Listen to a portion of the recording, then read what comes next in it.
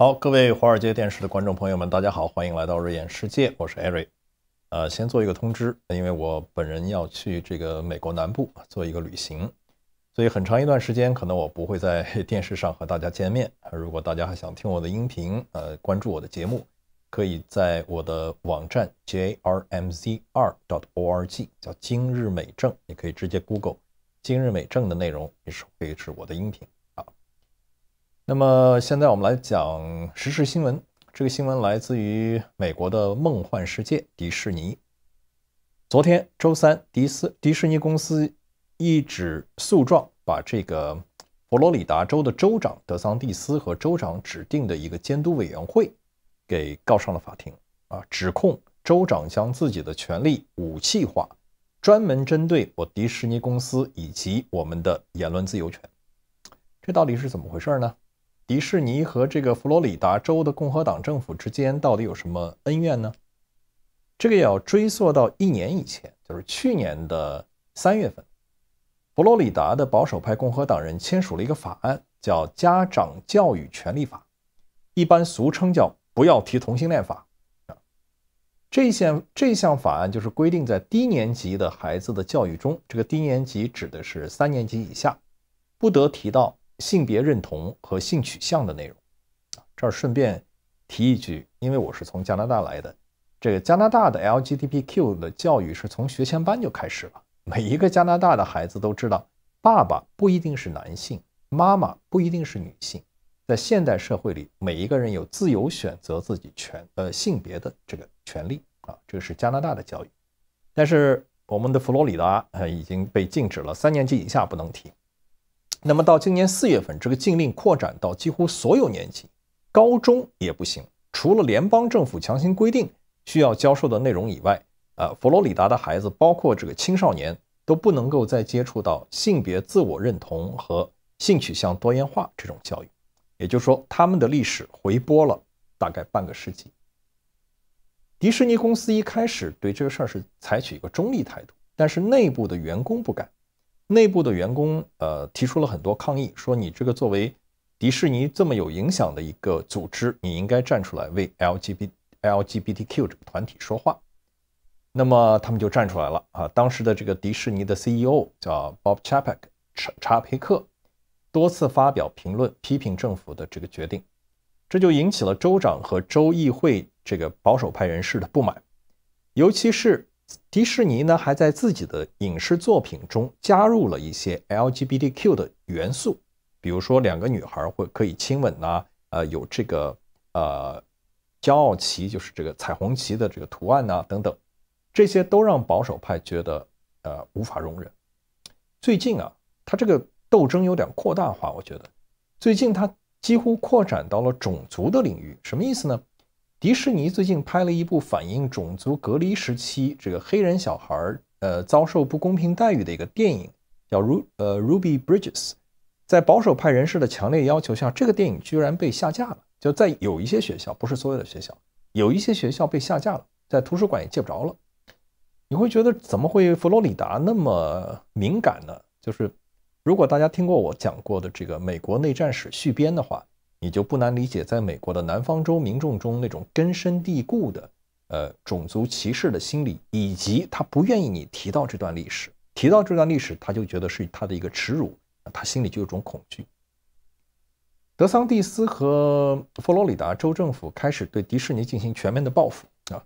迪士尼在奥兰多的地位是相当特殊的啊，这个是来源于1967年迪士尼公司和佛罗里达州政府。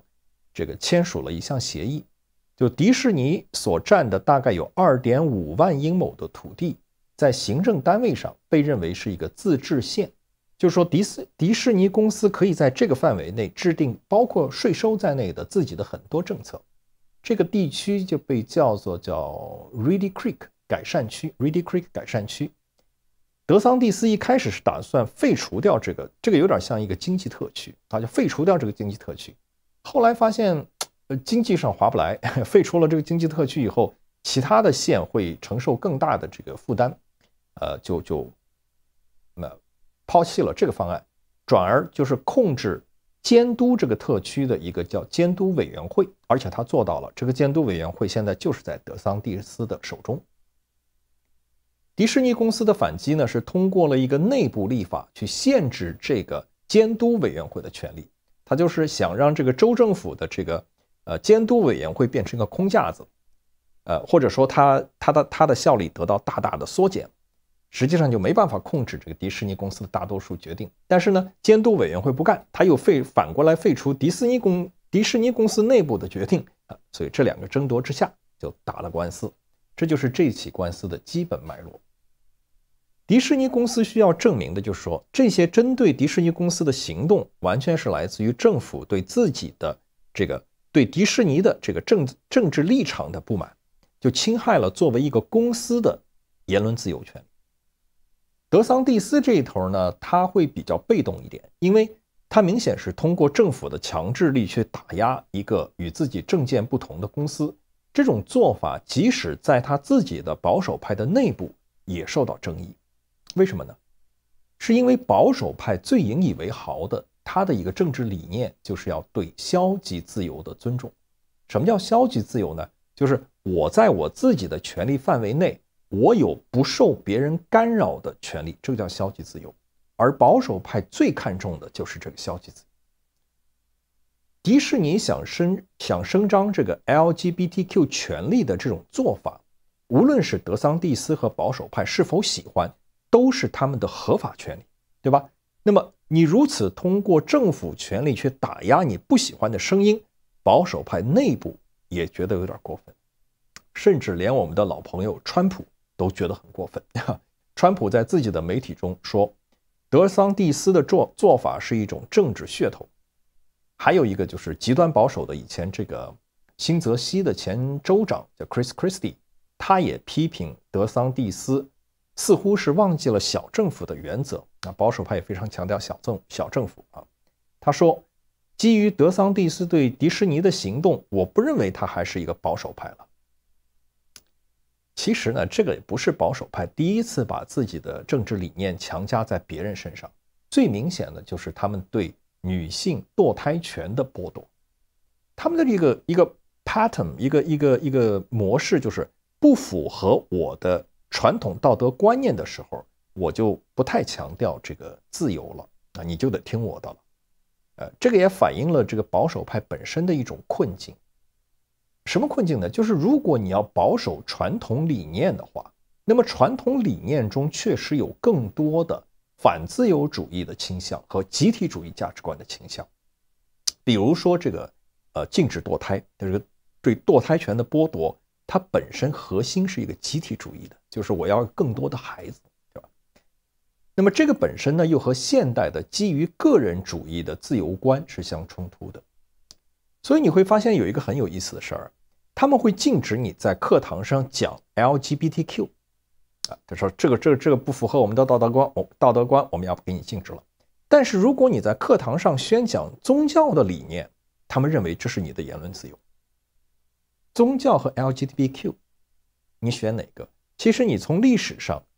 来看的话，LGBTQ 这个群体至少还没有制造出恐怖分子吧，没有极端分子吧，没有战争吧，没有杀人伤人毁物吧。但是宗教历史上发生过大量的对异教徒的屠杀、迫害、极端的恐怖分子的出现数不胜数啊，所以你怎么会去禁止 LGBTQ 而放开宗教传播？保守派的这个逻辑实在是很难自洽的，只能说就是符合我的，我就认为你有自由；符合我道德观念的，我就认为你有自由；不符合的，我就要 干涉一下。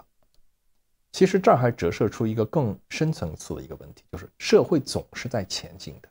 所以过去的观念会越来越出现和现实不不自洽的问题。保守派永远要面对这个矛盾，这不是哪一个聪明人可以解决的，这个是保守主义内在的一个矛盾。